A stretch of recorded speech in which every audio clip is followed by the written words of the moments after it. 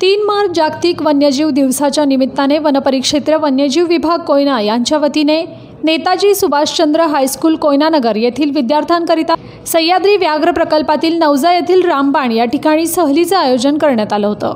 या सहलीमध्ये विद्यार्थ्यांना जैवविविधता प्रकल्पातील औषधी वनस्पती वन्यजीवांचे अस्तित्व याबद्दल प्रकल्पातील वनरक्षक व इतर कर्मचाऱ्यांनी माहिती दिली.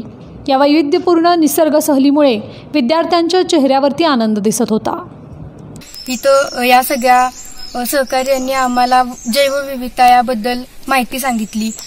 वेगवेगळ्या झाडांची त्या झाडांच्या पानांची माहिती सांगितली.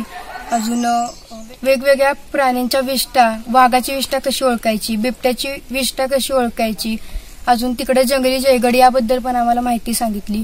त्याबद्दल मी या सर्वांचे आभार मानते. त्याच जागतिक वन्यजीव दिवसानिमित्त आज रामबान या ठिकाणी नेताजी सुभाषचंद्र बोस हायस्कूल यांचे विद्यार्थी फील्डवरती घेऊन त्यांना जैवविविधतेबद्दल आणि वन्यजीवांबद्दल माहिती देऊन आम्ही त्यांचा कार्यक्रम घेतला. माहिती देण्याचा असा उद्देश आहे की समाजांपर्यंत ही जनजागृती हा मुलांच्या मधूनच आपण देऊ शकतो. आणि त्याचं आज आम्ही एक कार्यक्रम घेऊन हा संदेश पसरवायचा प्रयत्न केला.